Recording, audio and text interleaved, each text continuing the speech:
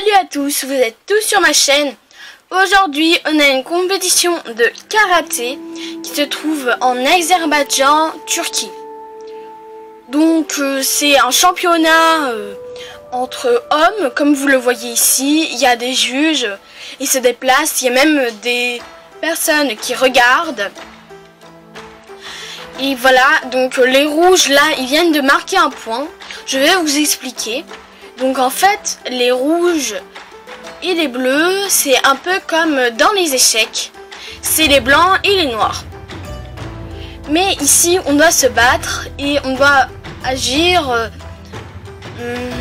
on doit agir intelligemment aussi, car euh, si vous n'agissez pas intelligemment, votre adversaire il peut bloquer et donc euh, il marquera des points à votre place.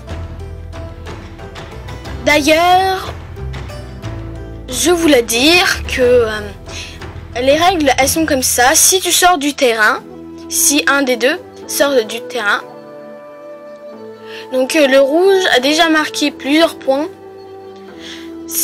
Donc je disais que si vous sortez du terrain, eh bien euh, vous recevez un petit avertissement car vous avez un carré et si vous sortez du carré, eh bien voilà, vous recevez un avertissement. On va un peu zoomer. Donc euh, on doit un petit peu sauter, sautiller on va dire. Comme ça on va dire, on peut attaquer à toutes les secondes. Donc imaginons, euh, dans notre tête on parle à notre adversaire. Donc euh, vous voyez ça se passe comme ça. De plus ils ont failli... Donc là, le bleu a eu un point. Donc vous voyez que si vous dépassez le terrain, vous avez un avertissement. Le bleu a eu un avertissement. C'est très dur car imaginons vous tombez par terre. Il, euh, il votre adversaire qui est sur les pieds il peut vous attaquer comme il peut, donc euh, il faut attaquer avec les jambes, comme il avait fait avant. Donc euh, là, il patiente, donc euh, je vais t'attaquer. Et bam, bam, bam, le rouge, il est beaucoup plus gagnant en ce moment. De plus, les bleus, ils font que de perdre. De plus, vous avez vu le geste que l'arbitre a fait. C'était un avertissement, un deuxième avertissement pour le bleu, car il est sorti du terrain. D'ailleurs, dans les compétitions, on a souvent un temps limite. Mais dans celle-là, il n'y en a pas. Ici, les rouges ont encore eu un point.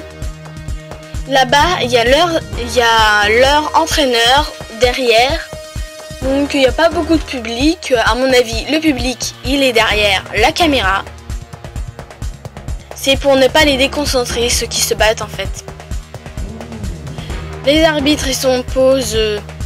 Donc vous, vous avez vu, sur la base, c'était écrit euh, que le rouge avait 3 points et les bleus en avaient 2.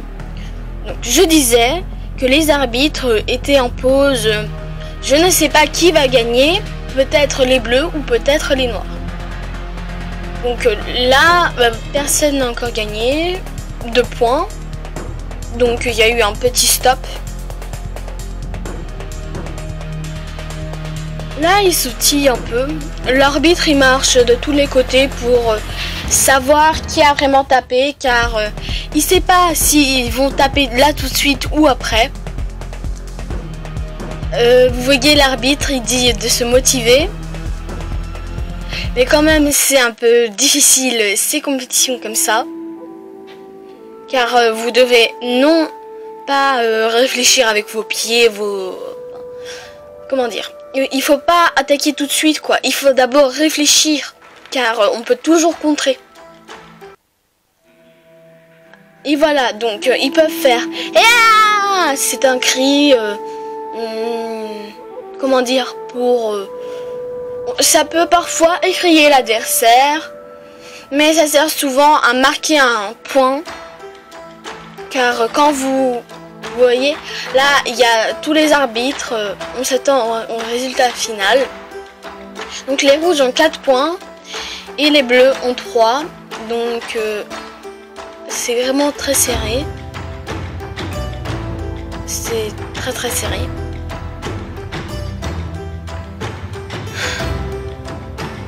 Le rouge a gagné un point. Et ah, il se tape, enfin, il se tape pas, mais bon. Il se marque des points. Vous voyez? Le... Il y en a un qui a reçu un point.